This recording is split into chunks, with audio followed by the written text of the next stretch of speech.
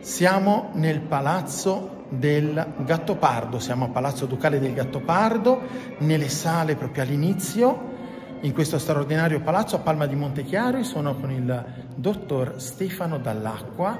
curatore e figlio, uno dei due figli del maestro Dall'Acqua e qui abbiamo portato le sue opere e veramente c'è stata la fila delle persone che si sono complimentate perché la sua mostra visitabile fino al 10 ottobre è nobiltà, perché la nobiltà è una categoria dell'anima.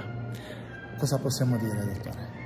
Possiamo dire che abbiamo avuto un'accoglienza straordinaria in un posto bellissimo dove la nobiltà è di casa e dove abbiamo portato la nobiltà degli umili su consiglio di, del professor Gianmarco Puntelli. La mostra rimarrà aperta, noi ci auguriamo fino al 10 di ottobre, noi ci auguriamo che tante persone vengano e possano valutare bene quelli che sono i sentimenti che le opere trasmettono.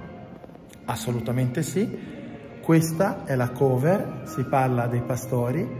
e noi vi aspettiamo qui perché è una mostra che deve essere vista perché la nobiltà parte dall'anima, parte dall'anima soprattutto qui dove si parla di Gattopardo dove tutto cambia e dove bisogna cambiare.